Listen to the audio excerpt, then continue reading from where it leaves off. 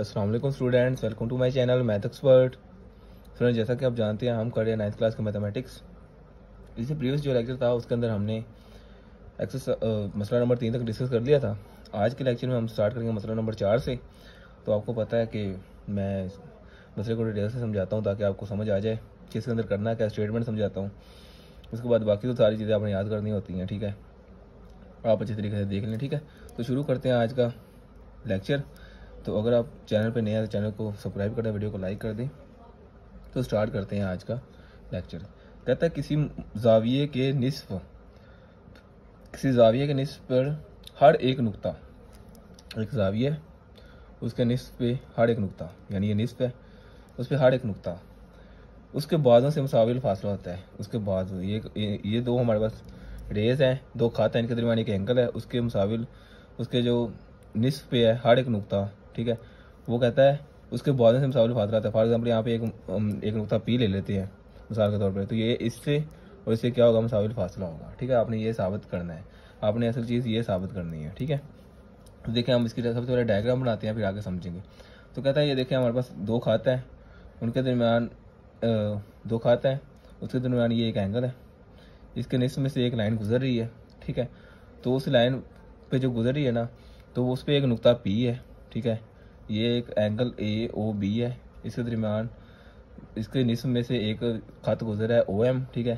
اس کے اوپر ایک نقطہ پی ہے، ٹھیک ہے۔ وہ نقطہ پی ہم نے ثابت کرنا ہے کہ اس کیو سے اور اس آر سے کیا ہے؟ مساوی فاصلہ ہے۔ مساوی فاصلہ ہم نے ثابت کرنا ہے۔ سب سے پہلے معلوم کیا ہے، وہ دیکھ لیتے ہیں، ٹھیک ہے۔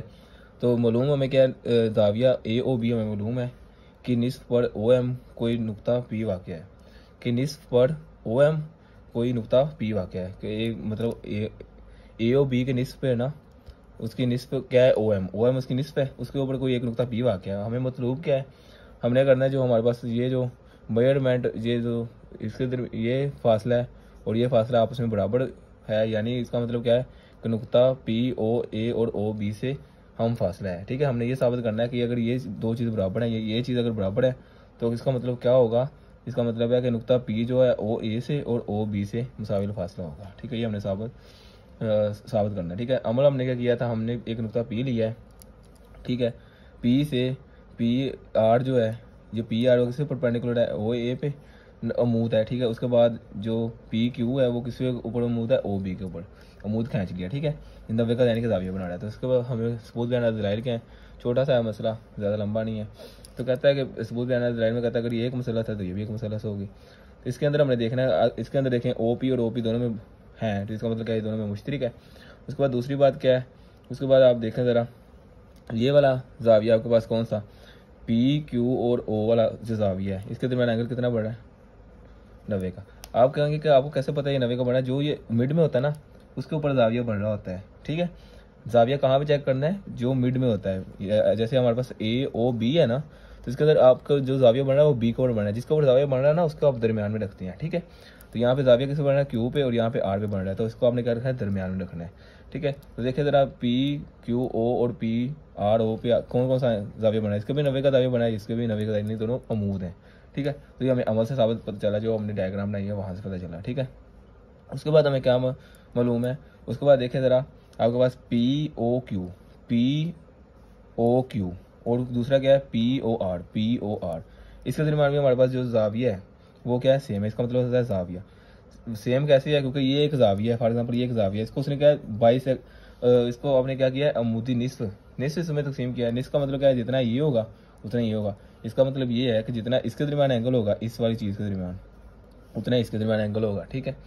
تو یہ والا آ گیا، معلوم ہو گیا۔ اس کے بعد دیکھیں، اس کا مطلب جب آپ کے پاس کیا آ گیا؟ آپ کے پاس ضلع زاویہ زاویہ، زوات، زے زے۔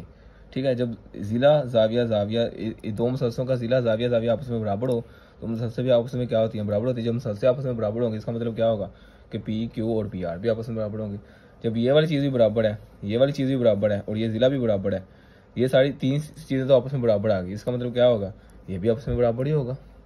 جب یہ آپس میں برابر ہوگا تو یہ بھی چیز آپس میں برابر آ جائے گی۔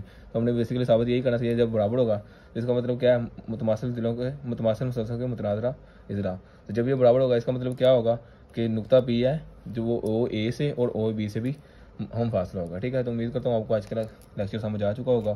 انتہائی آسان ہے، بالکل چھوٹا سا مسئلہ ہے۔ ٹھیک ہے، آپ اسے اچھے طریقے سے ایک دو دفعہ اسے نوٹ کر دیں، اس کے بعد اسے ایک دو دفعہ اچھے طریقے سے یاد کریں، پھر اس کو ایک دو دفعہ لکھ کے دیکھیں۔ ٹھیک ہے، کوئی اس کے اوپر ایک گھنٹہ لگا دیں انشاءاللہ آپ کا کلیئر ہو جائے گا آپ کے آٹھ نمبر ہیں۔ آٹھ نمبر کے لیے آپ پورا چیپٹر کر دیتے ہیں۔ ٹھیک ہے، اس میں سے ایک لونگ آنا ہوتا ہے اور ایک یا دو چھوٹ آنے ہوتے ہیں۔ ٹھیک ہے، اس کے لیے آپ پورا چیپٹر تیار کر دیتے ہیں، لیکن آپ ایک مسئلہ جو آٹھ نمبر کا آنا ہے، اس کے لیے آپ ایک گھنٹہ نہیں خرچ کرتے، ٹھیک ہے؟ تو آپ اس میں ایک گھنٹہ لگائیں، اس کو پہلے آپ نے لیکچر لیا، پانچ سات منٹ کا، اس کے بعد اس کو آپ لکھ کے دیکھیں۔